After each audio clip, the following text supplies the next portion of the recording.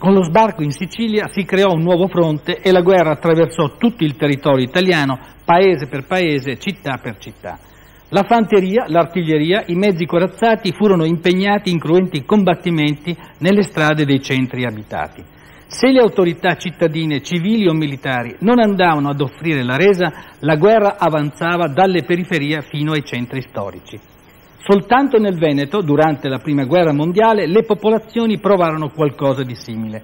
Era per gli italiani un'esperienza radicalmente nuova. Il 17 agosto, verso le 9 del mattino, i primi reparti della terza divisione americana entrarono a Messina. In quel momento gli ultimi soldati tedeschi si allontanavano dalla spiaggia di Paradiso. Il generale Patton, comandante della settima armata americana, appena giunto a Messina, diramò un comunicato. Messina è stata occupata dalle truppe americane. Esse hanno già in saldo possesso la zona del porto e stanno conquistando il centro della città. Il colonnello Tomasello, comandante della contraerea, fu raggiunto da alcuni emissari degli americani e fu invitato ad arrendersi. A bordo della Topolino a disposizione del suo comando si recò a trattare la resa. Più tardi, a guerra finita, rilasciò una testimonianza che smentisce il proclama del generale Patton. A Colle San Rizzuto, dichiarò il colonnello Tomasello, mi attendeva il eh, generale Truscott Truscott mi strinse calorosamente la mano e mi disse mi dispiace per lei, le guerre sono fatte così, c'è chi vince e c'è chi perde, ha perduto lei e io non posso che rammaricarmi. Io risposi, dice appunto il colonnello Tomasello, soltanto io devo rammaricarmi e non lei che invece ha vinto. Il generale mi sottopose per la firma un foglio già compilato in cui si compendiava l'atto di resa della città di Messina. Io mi rifiutai di firmare dice il colonnello Tomasello, richiamandomi al regolamento militare, secondo il quale, essendo la piazza di Messina caduta senza combattimenti, non c'era alcuna resa da firmare. In Sicilia, al momento dello sbarco, c'erano circa 230.000 soldati italiani. Di questi, circa 95.000 si dispersero e si sbandarono. Nelle città italiane iniziarono a quel punto a diventare frequenti scene come questa, che è stata ripresa a Messina da un cameraman americano.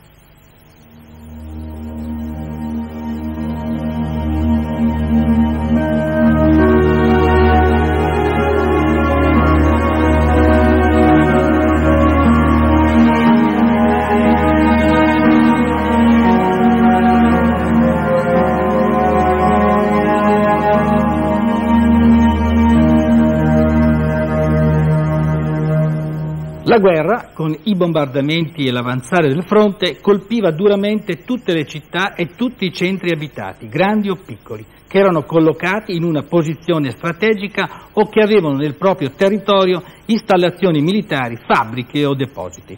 Soltanto qualche piccolo centro che fortunatamente non si trovava in posizione strategica e non aveva funzioni militari di alcun tipo veniva parzialmente risparmiato dalla violenza delle battaglie. Potevano allora accadere scene come questa, filmata e un poco sceneggiata da un cameraman americano il 9 agosto 1943 a Sant'Angelo di Brolo, in provincia di Messina.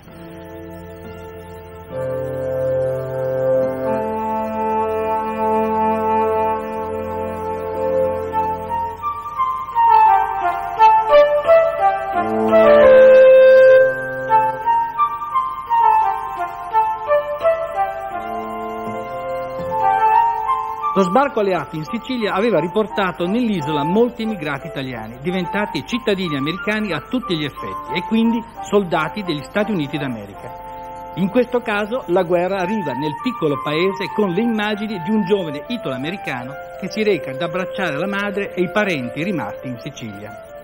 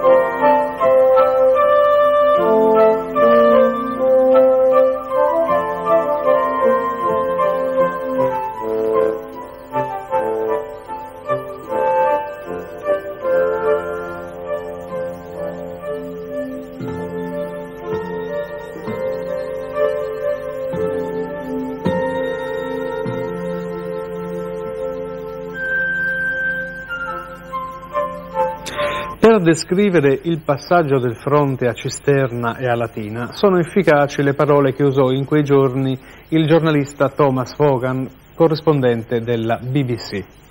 Era evidente che non c'era altro da fare che impadronirsi di un mucchio di macerie dopo l'altro, scrive Vaughan in una delle sue corrispondenze, di una cantina dopo l'altra e accettare le perdite inevitabili nei combattimenti per le strade.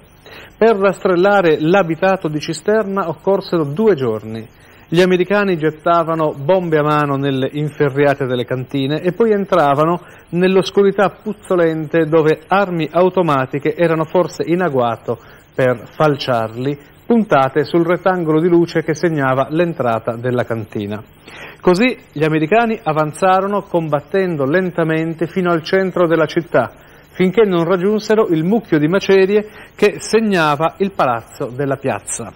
200 uomini della guarnigione tedesca uscirono strascicando i piedi dai nascondigli con le mani in alto e coperti dalla polvere delle mura crollate. In soli due giorni 1500 tedeschi della 326 divisione di fanteria erano stati fatti prigionieri.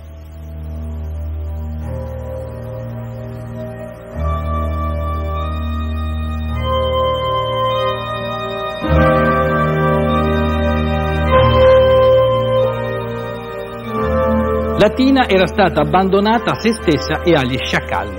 Numerosi erano i militari sbandati che si aggirarono tra le macerie. L'edificio della sede locale della Banca d'Italia sulla ex piazza 23 marzo custodiva un piccolo tesoro dietro grosse porte blindate in un sotterraneo che funzionava anche come rifugio antiaereo. I tedeschi in ritirata tentarono di far saltare con l'esplosivo le porte blindate furono costretti a lasciare a metà il lavoro. Ma evidentemente i civili riuscirono a penetrare nel deposito perché all'arrivo degli americani il tesoro della Banca d'Italia era sparito. Il filmato che stiamo vedendo ci porta a Latina il 26 maggio 1944, nove giorni prima della liberazione di Roma.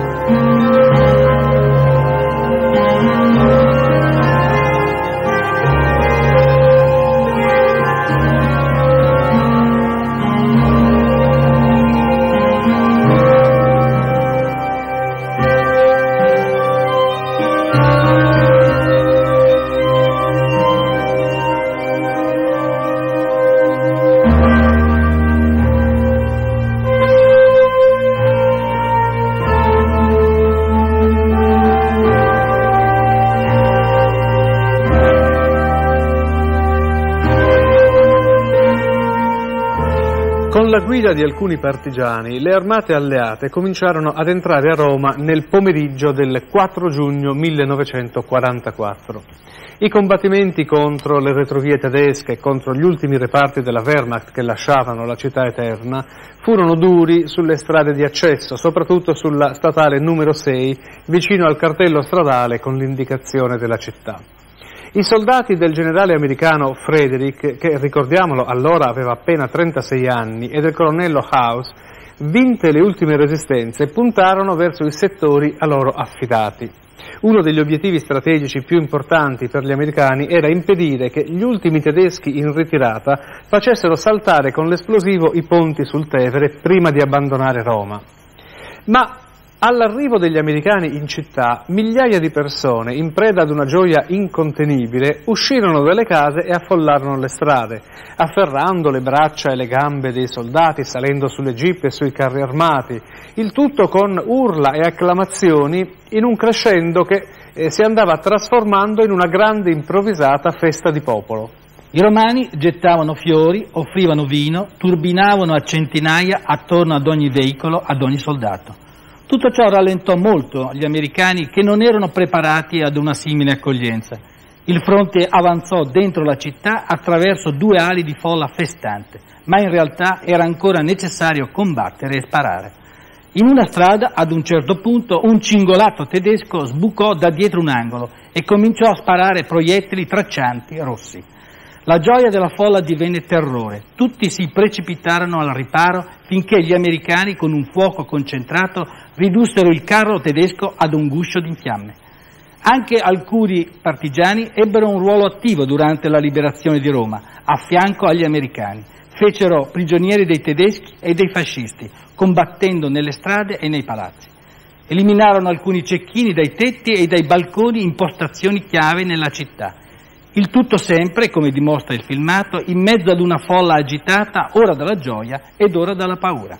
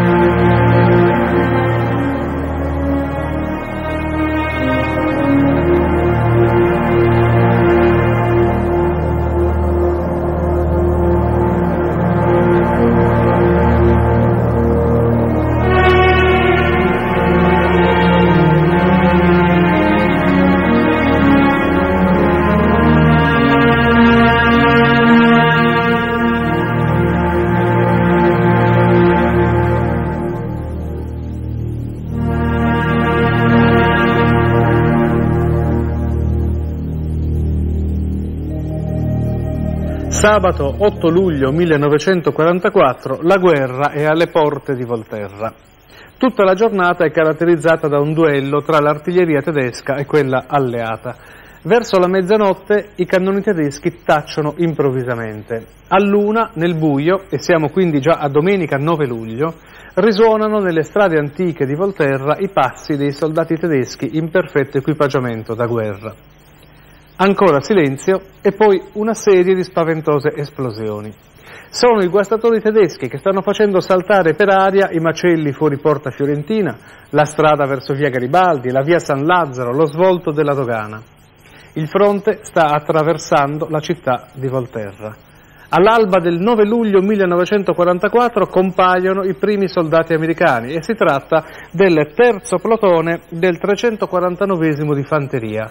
Con loro c'è un cameraman della Quinta Armata che ci ha lasciato questo filmato.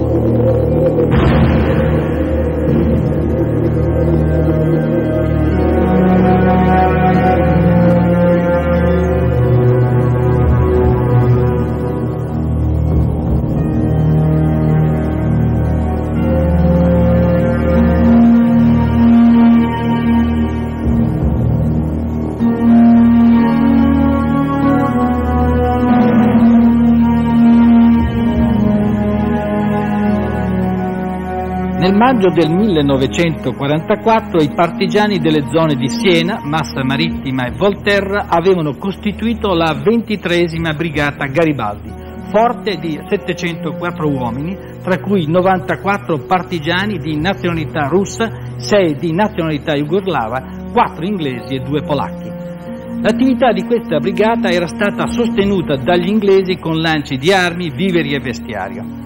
Lunedì 3 luglio due uomini della brigata avevano passato le linee di nascosto per raggiungere il comando alleato e chiedere l'autorizzazione a poter proseguire la lotta armata fino alla liberazione di tutta l'Italia. La risposta fu negativa. All'ingresso degli alleati in Volterra la 23 Brigata Garibaldi fu costretta a consegnare le armi e a sciogliersi. Il cameraman americano sta effettuando queste riprese il 9 e il 10 luglio 1944. I partigiani armati e i soldati americani ancora in questo momento convivono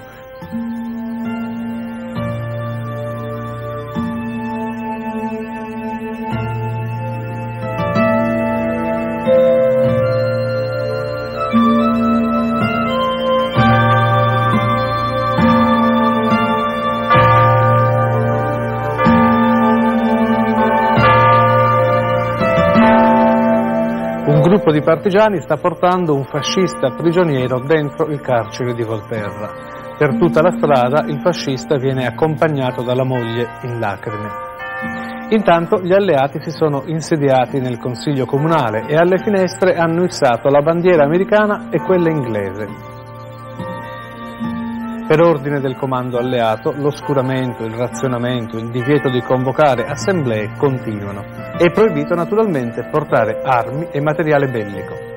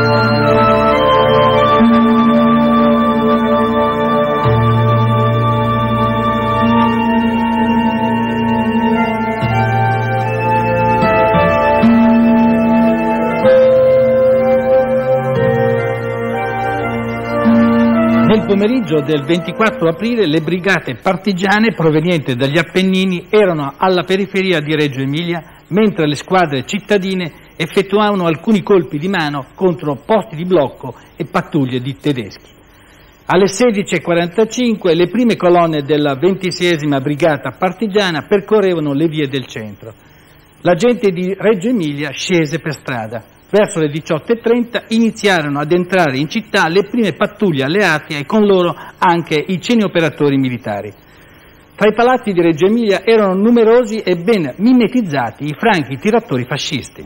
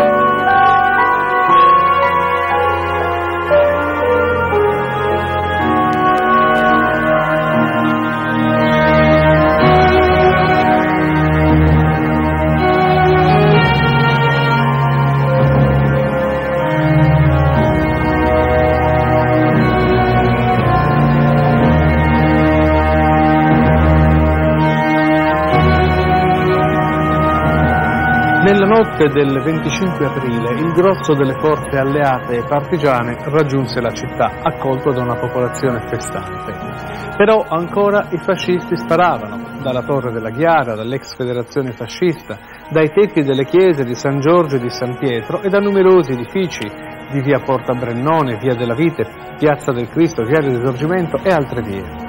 Un nucleo di resistenza fascista particolarmente forte era annidato presso la ex caserma del terzo artiglieria, da dove i tiratori controllavano Piazza della Vittoria e i giardini pubblici.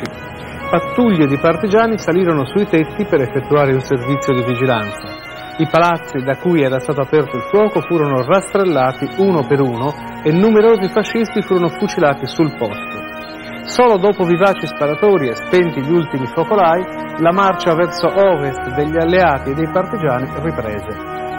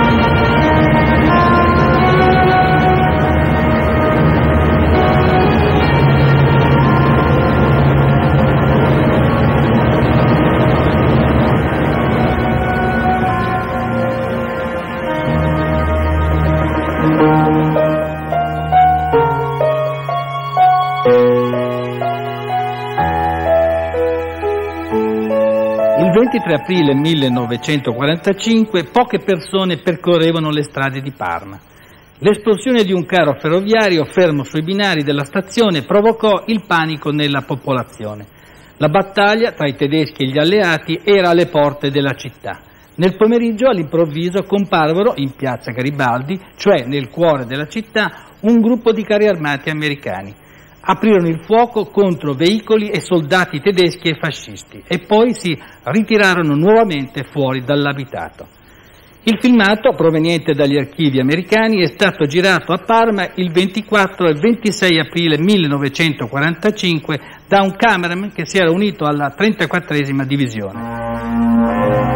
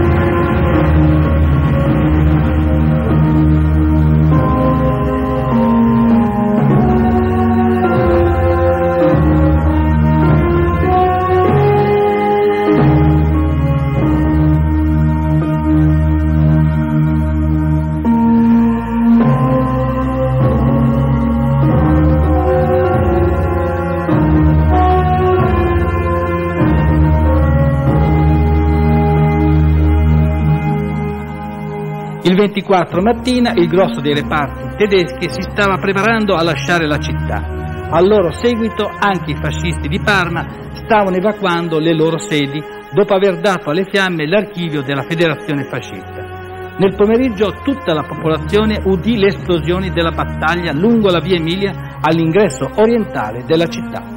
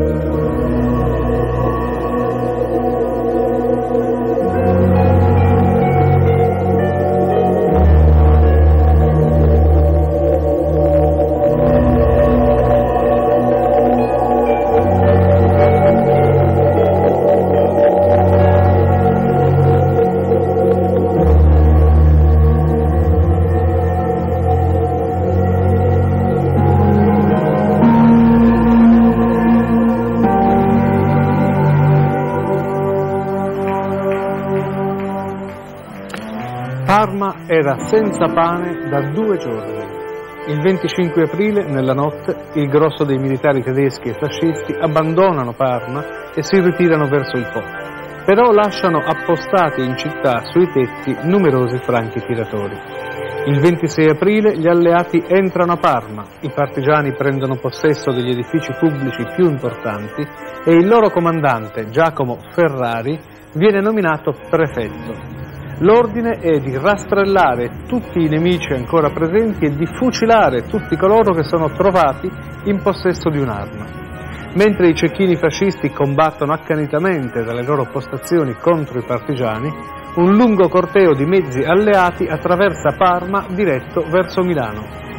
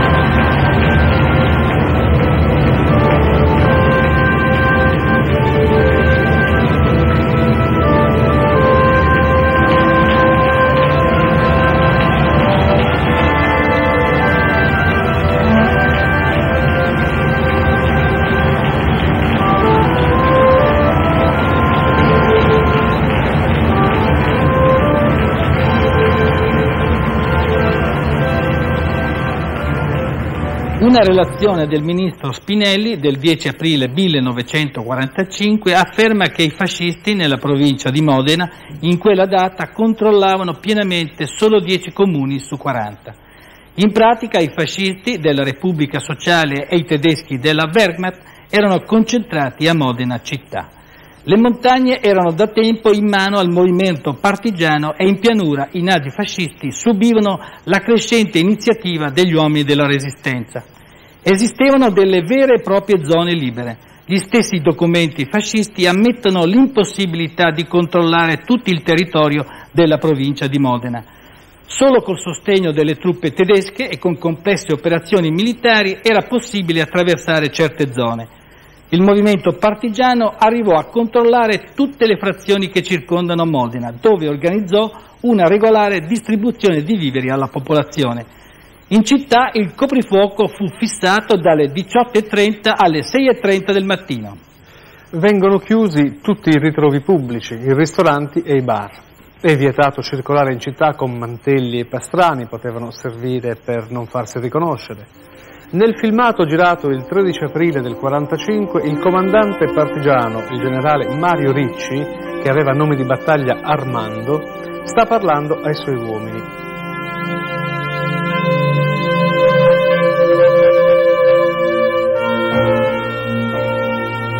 Alla liberazione parteciparono 1500 partigiani della sua divisione, altri 1500 della divisione Modena Montagna e 3.500 della divisione Modena Pianura. Tra i partigiani spicca per la inconfondibile barba bianca la figura di un vecchio. Si chiamava Alessandro Benvenuti ed era un antifascista libertario proveniente dalla zona di Montefiorino. Sicuramente era il più vecchio partigiano combattente nel modenese. Il suo nome di battaglia, e non poteva essere altrimenti, era Vecchio.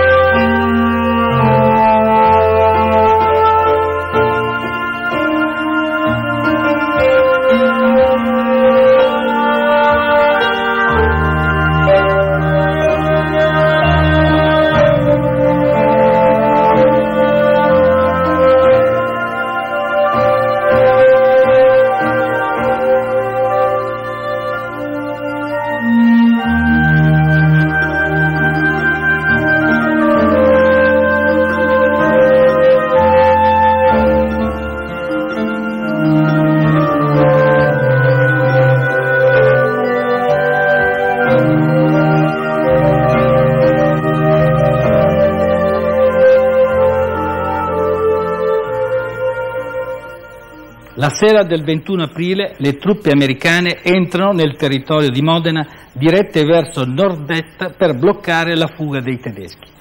In città restano solo alcune centinaia di tedeschi asserragliati all'Accademia e nei giardini pubblici. Nella notte reparti partigiani occupano il carcere di Santa Eufemia. L'occupazione delle carceri era sempre tra i primi obiettivi dei partigiani per liberare i prigionieri politici ed impedire che fossero uccisi o deportati. Alle 6 del mattino del 22 aprile iniziano i combattimenti in città. Vengono occupate la questura, la prefettura, il comune, le aziende elettriche, l'acquedotto. I tedeschi riescono a far saltare la centrale telefonica. Gli abitanti espongono alle finestre, sui balconi e sui tetti lenzuola e drappi bianchi per segnalare all'aviazione alleata che la battaglia per la liberazione della città è in corso ed evitare così nuovi bombardamenti. Le sparatorie più intense si svolgono attorno all'Accademia uno scontro fra partigiani e tedeschi avviene tra via Rismondo e piazza Impero verso le 12.30 del 22 aprile. Alle 16.30 il comandante partigiano Guidelli, nome di battaglia Max, intima la resa al comando tedesco. Attorno alle 20.30 entrano a Modena le truppe alleate.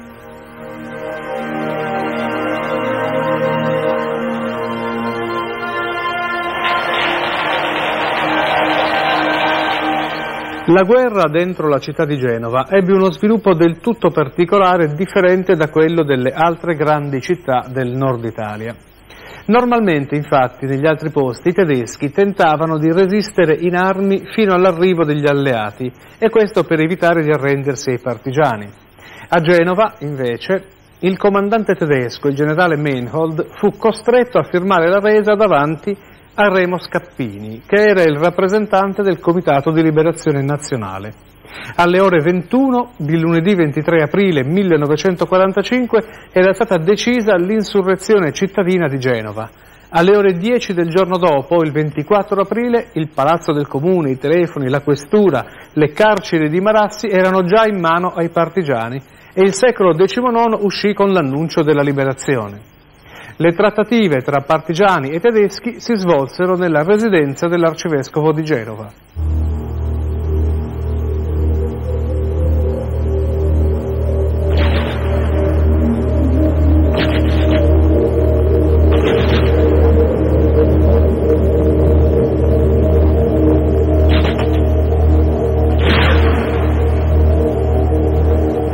Il 26 pomeriggio iniziarono ad arrivare in città i primi plotoni della 92esima divisione americana, comandata dal generale Edward Almond.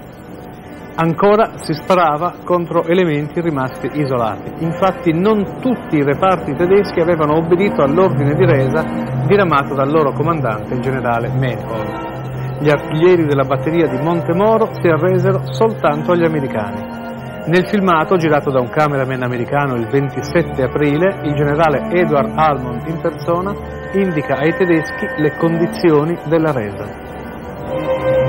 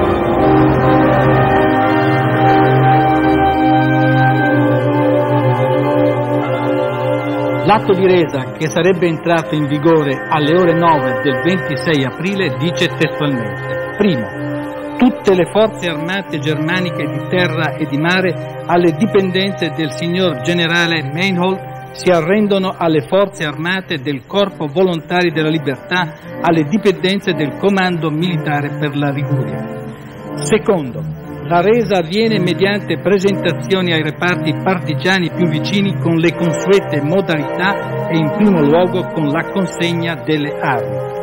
Terzo, il Comitato di Liberazione Nazionale per la Liguria si impegna ad usare ai prigionieri il trattamento secondo le leggi internazionali con particolare riguardo alla loro proprietà personale e alle condizioni di internamento. Quarto, il Comitato di Liberazione Nazionale per la Liguria si riserva di consegnare i prigionieri al comando alleato anglo-americano operante in Italia, fatto in quattro esemplari di cui due in italiano e due in tedesco.